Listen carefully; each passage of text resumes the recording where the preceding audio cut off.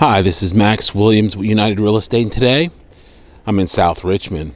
More specifically, I am off the Chippenham Road corridor, and today we're going to take a look at a three bedroom, two full bath brick rancher. This rancher, built in 1967, is coming in at just over 1,300 square feet. When I first saw it on the computer, I was immediately attracted by the price and what appeared to be pretty good condition on my database. Uh, this home is priced at 82000 and uh, the monthly payments on this house, total monthly payments would be coming in under $700 a month. And um, I wanted to talk a little bit about the concept of respect today.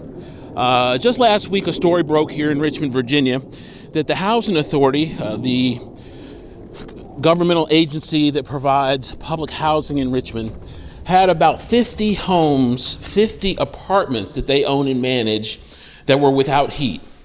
Uh, and as you may know, we got down into single digits here last week. And it was just a, a huge, huge story because uh, how could this government agency allow so many families to go without heat? Many of these residents were without heat for months. And uh, there's no real excuse for something like that. Um, those tenants were definitely disrespected as far as basic quality of life and uh, also what they obviously pay rent for uh, was not provided. Um, I'm a big proponent of change. If there's something that's wrong in your life, you can definitely do what it takes to change your predicament. If you are being disrespected as a tenant, then don't be a tenant. You can be an owner. Uh, the monthly payments, the, the benchmark to get into a property as an owner is probably uh, as low as it's ever been uh, outside of just a few years uh, when we had the crisis. Uh, I deal with people every day, I've got some right now, that went through recent bankruptcies, people that have had foreclosure, divorce, uh, all types of situations, and they bounce back in order to become homeowners. Um, those of you familiar with Miss Rose, a recent client that bought her first home after living in the same apartment in New York City for 42 years. In the same apartment, she decided enough was enough. She wanted to be a homeowner, relocated to Virginia. That's what she did at 72 years old. Um, this home is located on just over a half an acre.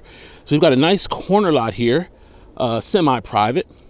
And the last two closings I had, in fact, my owners, my new owners, walked away from the closing table with a check.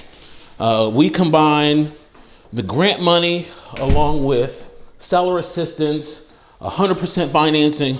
All of these things piggyback on top of each other, make it very, very easy to get into a house like this for under $700 a month. Uh, this home is by no means in a war zone either. This is a good, stable, single family neighborhood. Uh, we've got wood floors here throughout a good portion of this home. Uh, I'm definitely impressed by what I see here.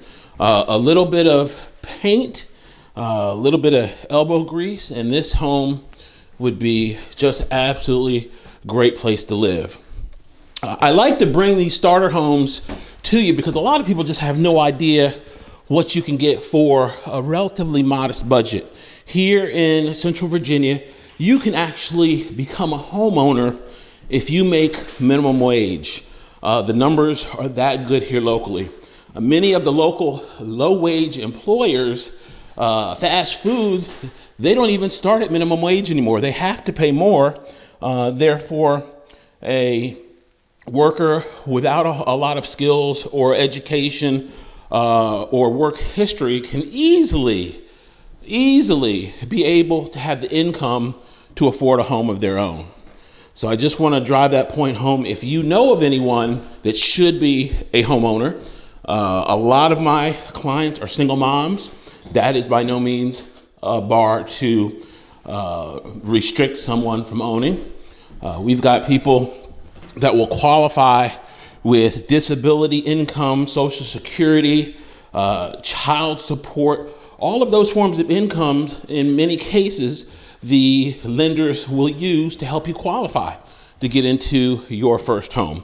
If you have questions about this or any other home in the market, be sure to give me a call. My name is Max Williams. I'd be happy to help. If you are looking to rent to own and you've got a budget of about $12.50 a month or more, then that's also an alternative for somebody that's not quite ready to buy for whatever reason, but yet wants to lock in a price on a nice home in a nice neighborhood.